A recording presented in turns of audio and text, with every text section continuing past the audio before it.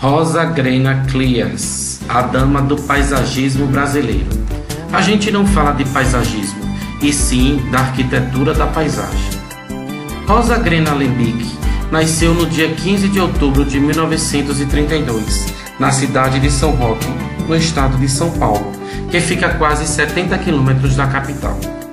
Filha de judeus, José Alembic e Dona Shura, como era popularmente conhecida. Seu pai foi morar na cidade a convite de um amigo para ser caixeiro viajante no ano de 1929. Como os negócios da família foram prósperos, fundaram a Casa Internacional José Alembic. Cursou a Faculdade de Arquitetura e Urbanismo na USP na década de 50 e foi no último ano que teve contato com a disciplina de paisagismo ministrada pelo então professor Roberto Coelho Cardoso, de Berkeley, Estados Unidos importante paisagista que trabalhou na cidade de São Paulo ao lado de Buller Marx. Seus ensinamentos foram fundamentais para a formação de Rosa. Na época, o curso de Arquitetura e Urbanismo da USP estava se desmembrando da Escola Politécnica, tendo, portanto, um caráter mais técnico. Na turma haviam apenas três mulheres: Maria Nilza Brasil, que acabou não exercendo a profissão, Marta Magnoli, falecida em 2017, que também seguiu o rumo do paisagismo, e Rosa Grena Lembic. Na faculdade, Rosa conhece Vladimir Kliers, com quem estudou, formou-se e casou. Com isso passou a se chamar Rosa Grena Kliers, no ano de 1956. Vladimir seguiu a área de arquitetura hospitalar e Rosa o acompanha. Posteriormente, ela segue o rumo do paisagismo. Da união, tiveram dois filhos, Paulo e Sônia, ele vindo a falecer na década de 80. No ano de 1989, defende sua dissertação do mestrado, intitulada Evolução dos Parques Urbanos da Cidade de São Paulo. Seu currículo é vasto e inclui diversos prêmios, sendo a primeira mulher a receber o colar de ouro da IAB participação nos planos urbanísticos e paisagísticos de Marabá, São Luís e Curitiba, projetos em diversos estados brasileiros, como Amapá, Pará, São Paulo, Maranhão, Minas Gerais, Bahia e Roraima. Rosa também foi professora em renomadas universidades brasileiras, escritora e a primeira presidente da Associação Brasileira de Arquitetos Paisagistas, a ABA.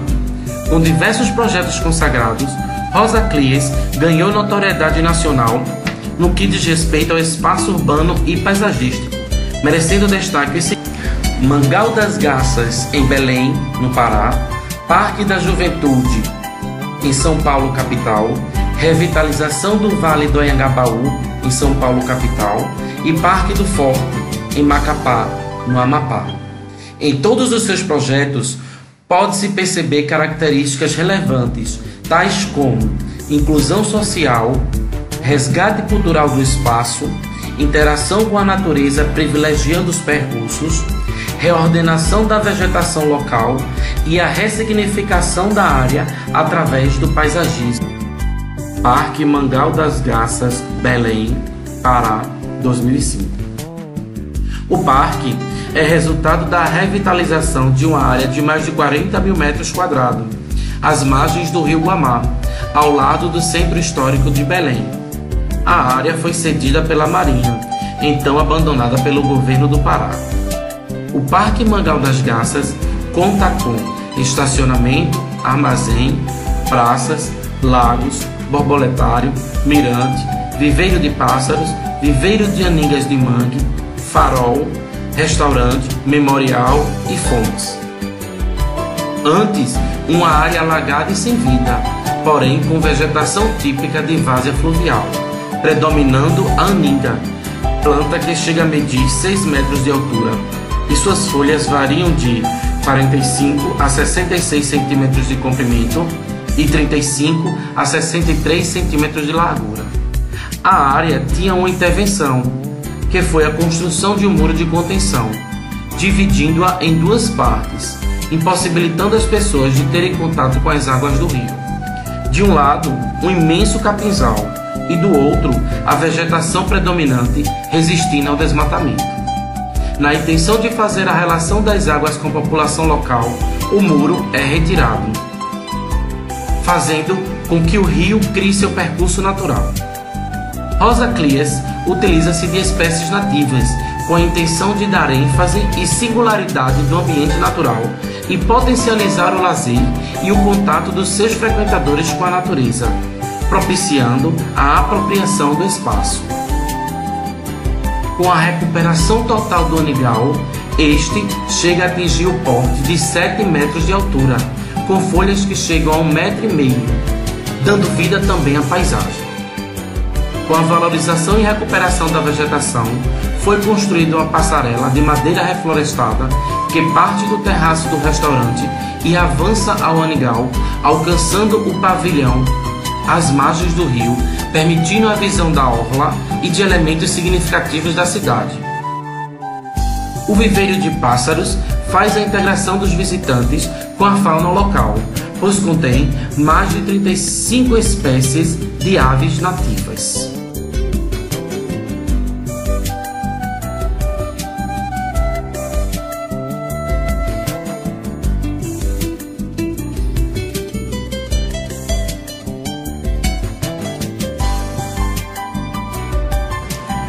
Carência de espaços públicos e de qualidade, voltada à valorização da natureza local, o Parque Mangal das Garças ganha notoriedade nacional, sendo relevante e de grande valia a inspiração para outros projetos semelhantes, tornando-se um ícone no estado do Pará, por ter reintroduzido a integração da cidade com a água, vegetação e fauna local.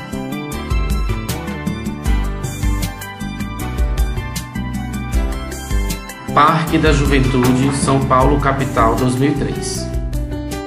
Com área de mais de 240 mil metros quadrados, localizado onde era o antigo complexo penitenciário do Carandiru, o lugar é marcado pela trágica história. O projeto consta com três etapas: um parque esportivo, um parque central e um institucional. O primeiro, com quadras, pista de skate e corrida o segundo composto por decks, passarelas e trilhas, e por fim o institucional, que tem caráter cultural, onde ficam as escolas técnicas. Nas pistas de skate e quadras, observa-se a ausência do alambrado contornando-as. Apenas grades de proteção para a pista de caminhada, formando desenhos. Isso foi levado em conta devido ao histórico do lugar.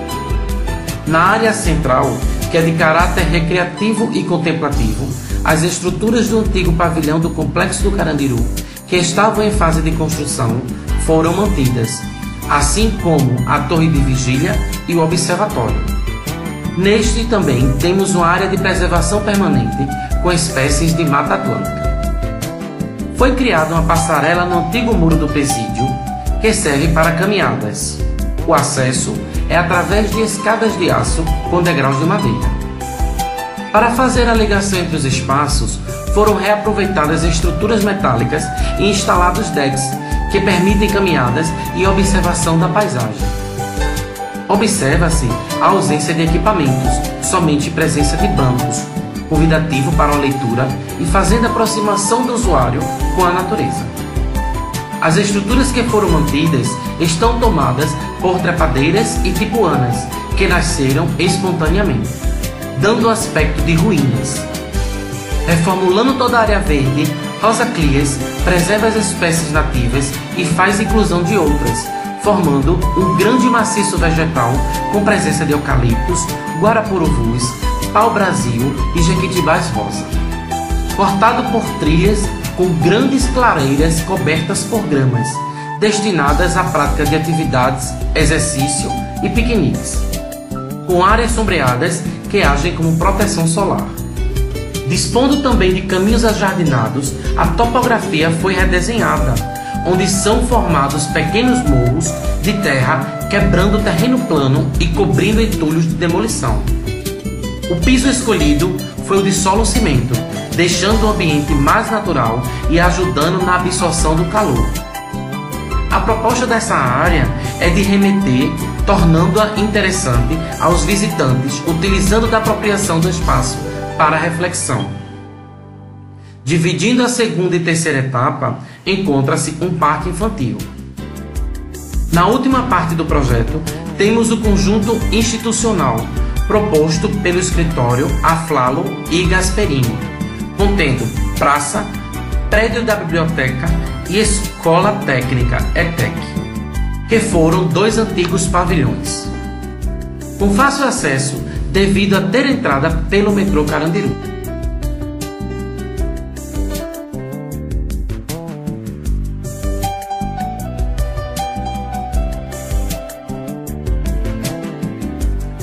Antes de tudo, Rosa Clias fez estudos de impacto social, com o objetivo de promover a qualidade de vida dos moradores. Além de construir espaços arborizados, ela preserva os vestígios do antigo local como forma de marco histórico do presídio.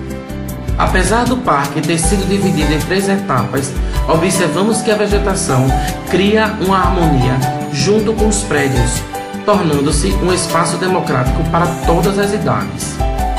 Frequentado por mais de 120 mil pessoas mensalmente. Antes, um espaço de horror e sofrimento e infração dos direitos humanos. Hoje, atividades culturais, lazer e esportes.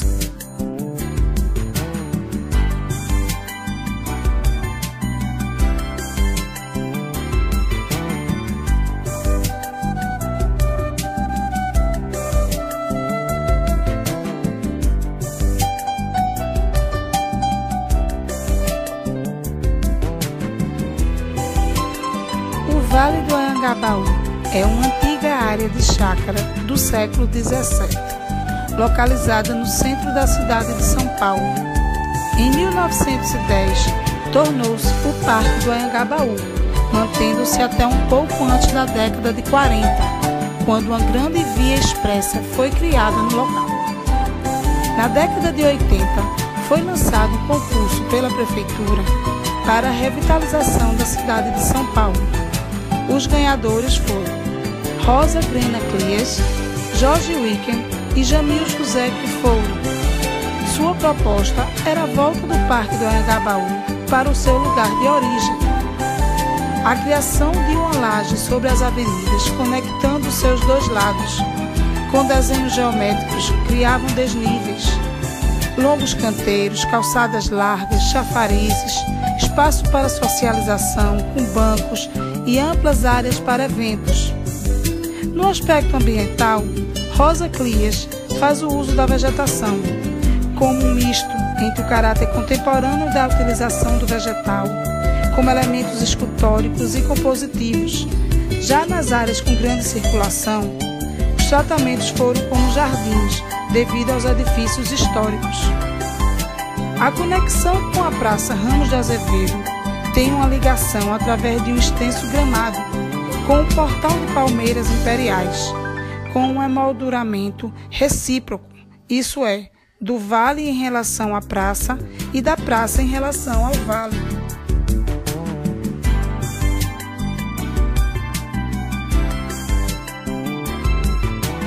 Parque do Forte, Macapá, Amapá, 2006. Construído em 1782, a Fortaleza de São José, que abriga o Parque do Forte, tem 127 metros quadrados, protegido por muralhas de 15 metros de altura. Em seu projeto inicial, o parque foi definido por Rosa para ser frequentado por pessoas com diversidade de perfis sociais, apropriando-se deste para uma alta interação pois irá proporcionar beleza, sofisticação e sustentabilidade, contendo decks panorâmicos para o rio Amazonas, chafariz, anfiteatro e pista de caminhada. Principal representante do paisagismo moderno, reconhecida internacionalmente, Rosa Clias se destaca no que se diz respeito à gestão ambiental da paisagem nas cidades com mais de 50 anos na atuação, é uma referência, não apenas por seus importantes projetos, mas também pela sua dedicação neste campo. Com 88 anos de idade, Rosa Clias ainda atua como consultora em diversos projetos dentro e fora do país. Já foi descrita como paisagista rebelde pelas suas críticas pertinentes na área da arquitetura da paisagem. Definir a importância da atuação de Rosa no território nacional é dizer que suas lutas e conquistas serão valorizadas sempre dentro do papel da arquitetura paisagista no âmbito social.